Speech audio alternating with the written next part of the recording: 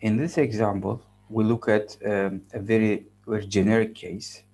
And the random vector x here, in this case, has just two components. So we are looking at a specific case, um, quite similar to what we have done previously. But uh, here, uh, x1 and x2 are not necessarily IID. So we, we don't have uh, a restriction on the distribution of x1 and x2, nor their joint distribution. They might be independent, they might not be independent, they might have the same distribution or not, doesn't really matter for the result in this slide. We just define random variable y as the sum of x1 and x2, and we, we define random variable z as their difference. We will look at the statistics of y and z. Uh, well, no need to really look at the expectations because expected value of y is the sum of uh, expected values of x, the components, and expected value of z is also the difference. That's trivial. We will just uh, look at the variances.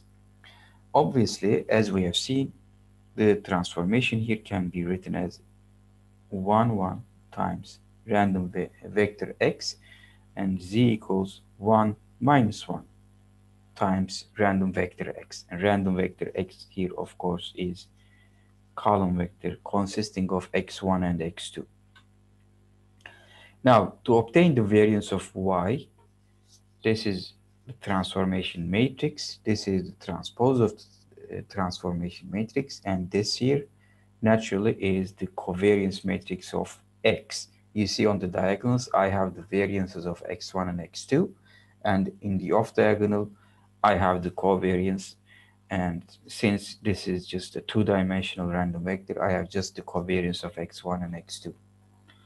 And uh, if you take this multiplication, essentially multiplying um, a, a, square matrix by a, by a vector of ones from left and from right will give you the sum of all components of that matrix. Therefore, the variance of y turns out to be the sum of the variance of x1, the variance of x2, and 2 times the covariance of x1 and x2. This 2 multiplier comes from this observation. You have two covariances in the matrix, um, that therefore the covariance of x1 and x2 appears twice in this sum. So you can in fact write this as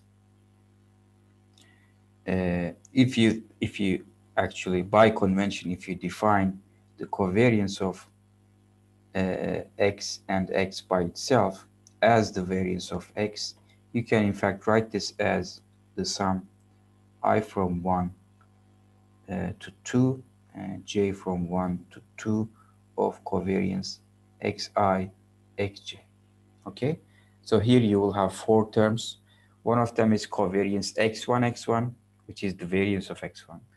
Uh, another one is covariance x2, x2, which is in fact the variance of x2. And the two other terms are covariance of x1, x2 and covariance of x2, x1, which are equal to each other. Very similarly, if you look at the variance of z, this is the transformation matrix. This is its transpose, and this is also the covariance matrix of X. When you arrange the terms, the only difference from Y here is this term here, obviously.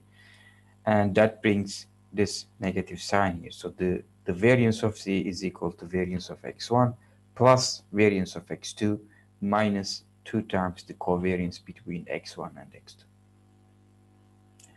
Okay. Now, what if I would like to find the covariance between y and z? Okay. Uh, in this case, you can in fact define um, random vector y and z.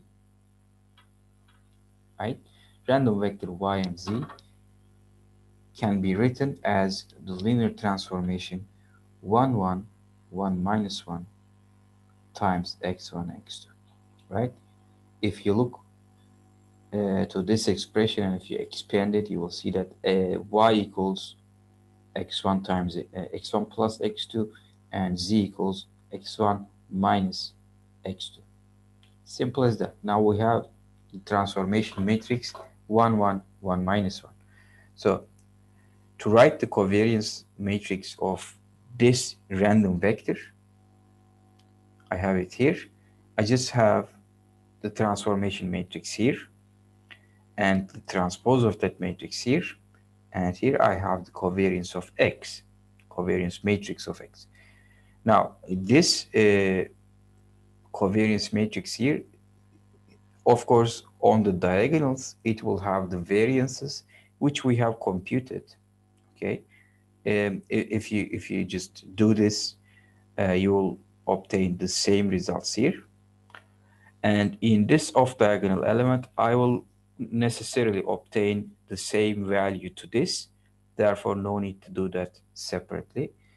Essentially, when you obtain this product, you just look at this component here, uh, which you will find to be equal to variance of x1 minus the variance of x2.